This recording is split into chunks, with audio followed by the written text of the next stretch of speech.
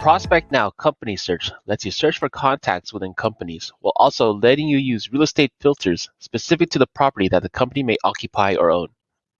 You can get there using the link located at the top of the page titled Company Search. Once there, you'll see that my previous search consisted of looking for Dollar Generals in the state of Florida.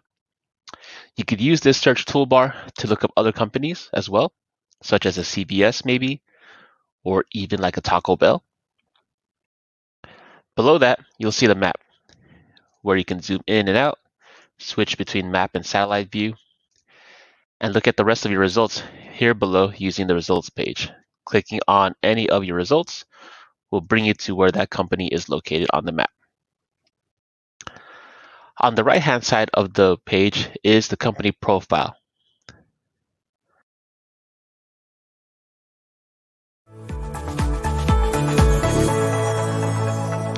The company search also grants you access to many different features.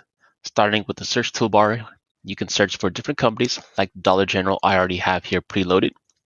You can search within any city, a state, and you can even customize your search using the more filters and create a custom list of what you want your company list to consist of.